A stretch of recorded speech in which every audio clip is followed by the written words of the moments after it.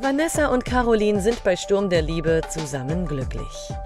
Jetzt wollen beide einen Heiratsantrag machen, wissen aber nichts von den Plänen der jeweils anderen. Während Vanessa mit Alfons die Überraschung vorbereitet, lässt sich Caroline von Michael helfen.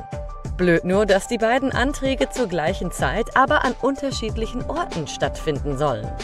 Dadurch kommt es bei dem verliebten Paar zur Zerreißprobe.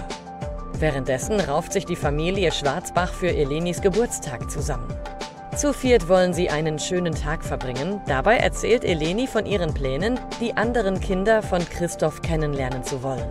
Das stößt Markus sauer auf und er lässt sich zu einer fiesen Bemerkung hinreißen. Was er sagt, erfahrt ihr in einer neuen Folge von Sturm der Liebe am Mittwoch um 15.10 Uhr in der ARD.